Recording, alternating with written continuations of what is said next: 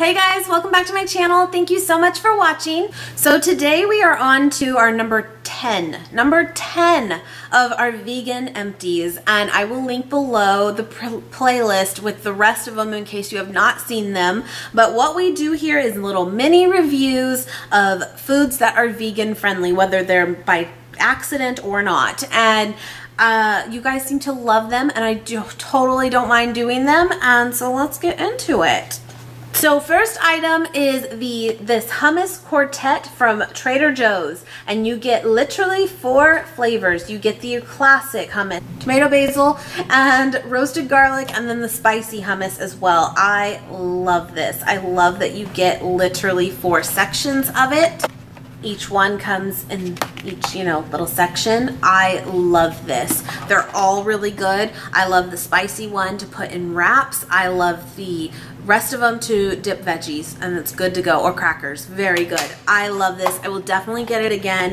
I love that it's, and I think it was relatively cheap too. I want to say this was $5 off the top of my head. And for, you know, a full tub essentially, just, you know, different flavors, it's not terrible at all. So yeah, it's one pound. Good stuff. Next item is actually this roasted garlic hummus by Green Giant. I recently just got this and this was really, really good. Is it my favorite? No, probably not. Uh, my favorite thus far, as far as true flavor of them, is the Cedars brand and probably the Trader Joe's brand. But this was not bad at all, and it did have like chunks of garlic in it in the center as well. It was pretty good, not bad. I actually got the Green Giant one in the classic original too, and it's not empty yet though, and it's not bad, but it's definitely not a favorite. It really is kind of bland to me. And I'm like, okay, okay, well, I know now, you know. So yeah, Green Giant. I've never tried that brand before for hummus, but yeah, not terrible. So next item you're gonna see is really not empty. I should probably return these, although it's been a while. They've been in my husband's office and I forgot about them because of that. And he took them in there to munch on and he never did. And I remember when we got these months ago now at Costco, they're the Kirkland brand.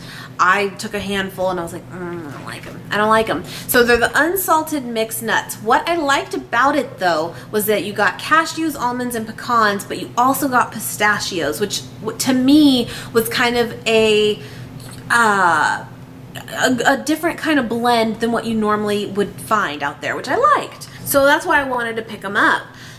I don't know if it is because they are unsalted, which although I know that, it said that, I was fine with that there was just no flavor to any of them to me at all. And so maybe it was because of that. Maybe they need a little bit of salt.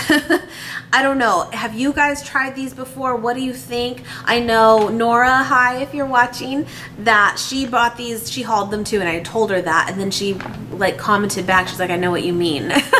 and so it wasn't just me on that one. And yeah, there's just something about these that just were not a hit for us at all. I don't want to say that they were like terrible but we never ate them. Like they, we just did not go to them at all. I don't know. So yeah, kind of a letdown. And nuts like this are not cheap. They're really not. So, you know, you want to like them. Next item is from Trader Joe's and it's this chopped basil. And I know this is super lazy, I know, but I do love these. And they make them in the basil as well as garlic. And these are vegan because all it is though is basil, canola oil, uh, cornstarch, sea salt, and lemon concentrate. So it's not just basil, but it is uh, raw and vegan still. But they come in this little, these little itty bitty like pop them out type thing, kind of like an ice tray. And you can just throw them into your dishes. And these are frozen though. You keep it in your freezer. And yeah, you would just like toss it into a dish and you're getting fresh basil. It's just been frozen. And so I really do like these if you are wanting a fresh herb versus dried, but you, you know, you don't necessarily always have fresh herbs on hand. This is kind of the way to do it. Point is though, I mean, to have like true fresh basil in your freezer is absolutely vital. Probably not, but it's good. So there. but I would always add this to like pasta dishes and stuff. I like it. Okay, so next item is this Bai drink, which I love the Bai drinks. I love them. And But this is the Bai Bubbles and it's the carbonated version of the like juices they have. Guys, I was so excited to try this because I love the original type. I don't like it. Now, having said that, I did not like this coconut one. I did not like it. My husband drank it and I tried it and I was like, nope, I don't like it. I don't know what it was. I just did not like it. But I got like a black cherry one and that one was really good. So maybe it's just flavor to flavor. But yeah, I was not a fan of this one at all. So overall though, even though the black cherry one was good, I would stick to the original type juices and not the carbonated ones overall. Yeah.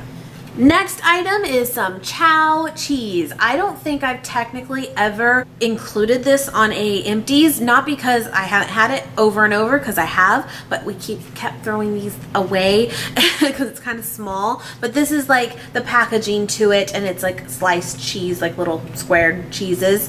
And this is our favorite, hands down, hands down. Chao cheese is amazing. It is not cheap.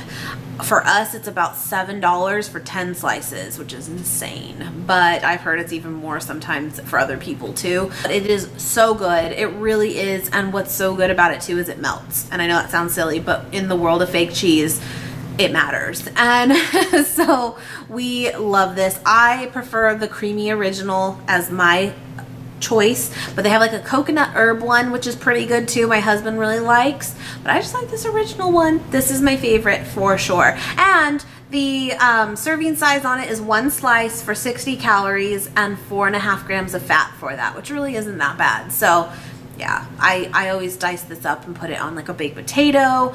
I will put this on like a rice bowl. Uh, so good. Yeah I love it Next item is some coconut sugar. If you are not familiar with coconut sugar, and this one in particular from Trader Joe's, this is a great alternative to really not have so much sugar in your life when it comes to like baking. Use this instead. I have been using this to make pancakes recently. I will link below the recipe uh, playlist which has a pancake recipe I recently did. So good. And I've been using this but this the ingredients on this is literally organic coconut palm sugar. I will say it's definitely not as sweet as regular cane sugar but it's really good. And if you're not someone that really loves things overly sweet but you need to use it to make a recipe you'll like this. This is not bad. So i picked this up at trader joe's and i really really like it Okay, last item. My husband found these, and these were at our local grocery store, Vons, but it's by the Alyssa's brand, which I've never heard of, and these are healthy vegan bites. I know I can't really show them to you because we ate them, but it was just this little package, and they were basically um, little oatmeal cookies, like mini ones. Probably got about 10 of them. They were like that size-ish and they really were like oatmeal cookies. They were really really good. I mean is it cost effective this kind of stuff? Probably not. It's really not. But if you're looking for a sweet treat it's an option for sure. But they're gluten-free non-GMO high fiber uh, no sugar added uh, vegan little cookies. So you have to keep an eye out and that's the Alyssa's brand. I would get them again. They were good Last item is going to be this big old box of LaCroix, which I'm actually drinking right now too. Mm -hmm. Mm -hmm. So this one hands down is my favorite so far. That's really messing with my light.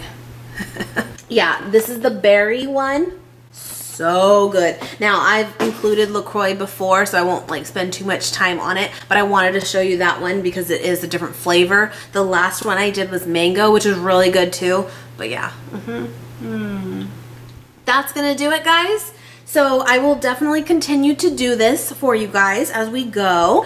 So I hope you guys enjoyed this. Please give this video a thumbs up if you have not already. Please subscribe if you have not already. And I will see you guys very, very soon. Thank you so much for watching.